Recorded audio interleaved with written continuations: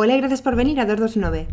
Este vídeo es un poquito más especial porque quería dar las gracias a todas las personas que la semana pasada me felicitaron el cumpleaños, que me hizo mucha ilusión y además como algunos me preguntaron por el botín de cumple, os lo quería enseñar porque porque es una pasada.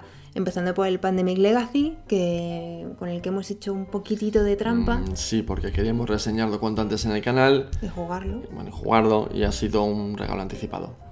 Tenemos también el Mysterium, que ya lo habíamos probado y es precioso, lo quería también. El Mice and Mystics, que incluso lo tenemos reseñado ya en el canal, pero como nos lo habían prestado no podíamos jugar campaña y ahora sí. Y como novedad en nuestra vida aparece el mundo euro, que apenas teníamos nada con el Five Drives, el Kailus y el Dungeon Pets, que nos han dicho que es un euro muy duro, pero es que es, tan mono y tan bonito que lo quería también. Bueno, y también nos han regalado, bueno, le han regalado a ella el Watson and Holmes eh, diario del 221B, que teníamos que tenerlo por deber moral y ético.